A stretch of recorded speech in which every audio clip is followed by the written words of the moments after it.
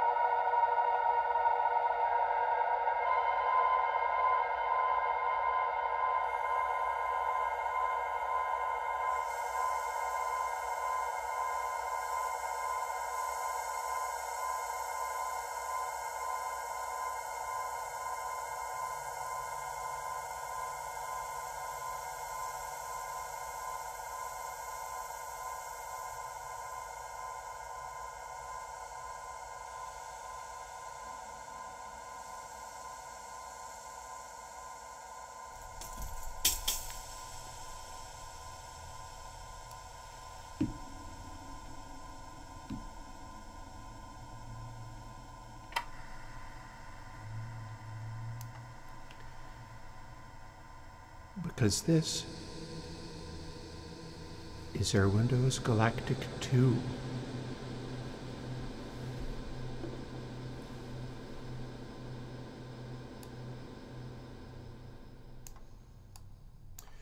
So let's rein it in a little bit while we're at it. Galactic 2 is a follow-up to the original Galactic and it exists because I was looking to do a thing where I've been listening to some Burial. Those of you who know, uh, classic drum and bass uh, dubstep artist, dubstep rather than tear out. And one of the things he liked to do was include these sound fabrics that were all made of reverb. So the background to his tracks could be, you know, pops and clicks and record noises. But you might also have things like just textures, sounds,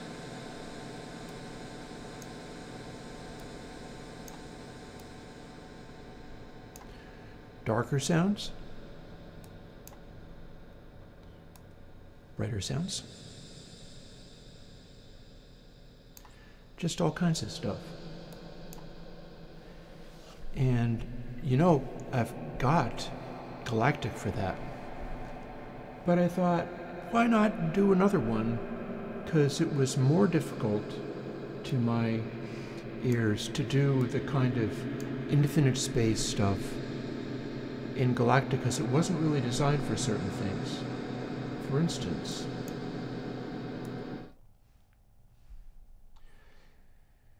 you could use Galactic to do uh, stereotype things, but it worked in a certain kind of way. Whereas what you're hearing here sounds from one channel gradually drift over to the other channel.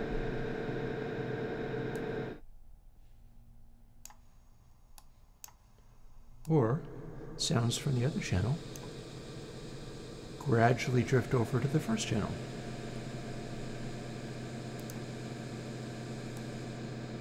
Or stuff just in the middle.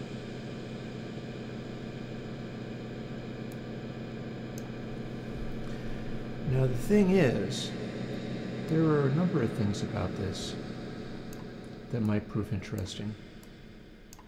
One of them is this is the sort of new hotness for reverbs that are designed for naturalistic style reverbs. It's possible that the original Galactic is better in certain ways for some of your synthesis type stuff. When I crank this up to ultimate full sustain and put the maximum amount of sound into it, and then also set it up to play some other noises in there.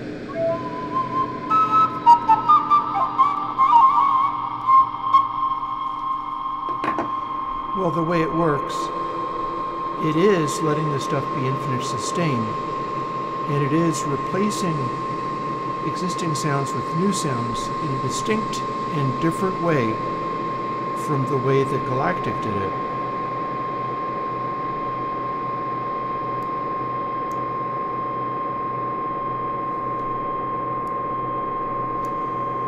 But that's not to say that you necessarily prefer the tone of this one.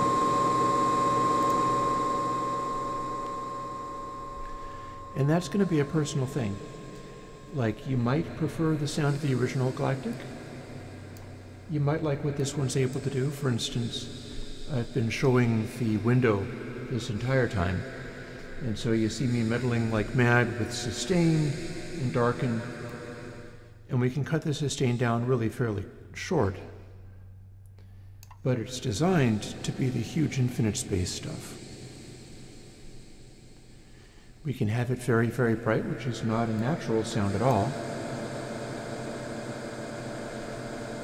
Some people actually like this kind of texture and are looking for this kind of thing. It's not dissimilar to what you had in Infinity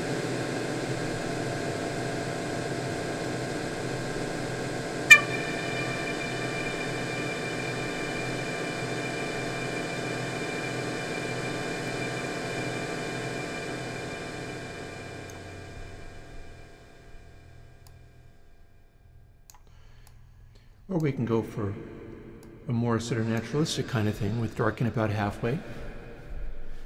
We've got drive in here.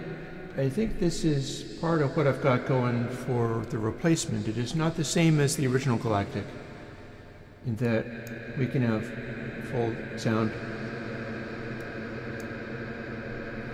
And you, one way you can do that is to cut the drive off and it'll just continue the infinite sustain from anything about 75% on. And then swoop that up with automation or something maybe. And now you got something else in the infinite sustain. The idea is it's a different arrangement of how this stuff uh, works. The idea is that uh, it's an alternative, and it's not exactly the same as uh, the original Galactic. In fact, some of its stuff is very different. The way that it's accentuating uh, sound spaces, it's meant to be kind of like outer space. Here, we'll do some more. So, sustain at 0.5 and pan alternating between negative 1 and 1, hard left and hard right. And let's use this to fill in some sparkly spatial imagery, but rather than being dark and dull, it's going to be bright and shiny.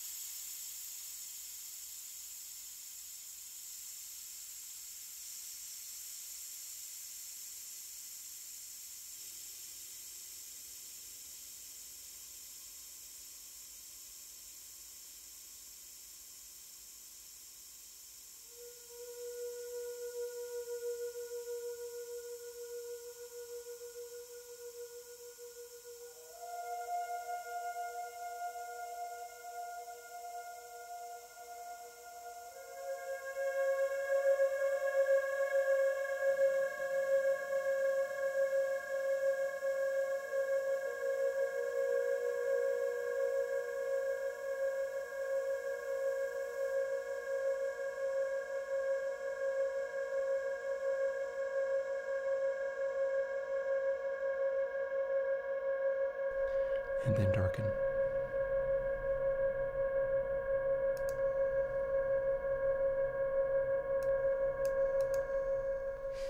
You'll note that darken does cut back the uh, darken does affect the sustain as well as the overall coloration of the reverb. Both of those things, the, the, the this is another reverb basically. This is another galactic style thing. It's designed to have not quite but similar behavior and be a uh, close to what the original Galactic does, but again, it's using the sort of full Monty five band stages, uh, 25 tap reverb feed forward thing that I'm doing for the more realistic ones. And as a result, it sounds different from what the original Galactic, which was a 4x4, 4x3, um, very different guts, very different basic sound to the algorithm. And with a bit of luck, you will like this. I'm diving into some of these reverbs again. I've got a couple of things to, to put out because it is very possible that we are moving into the realm of using this technology to uh, start doing those Bricasti ones I was talking about. I am not sure as of today whether we're going forward with that, but I'll let you know. And I'll talk to you later. 拜拜。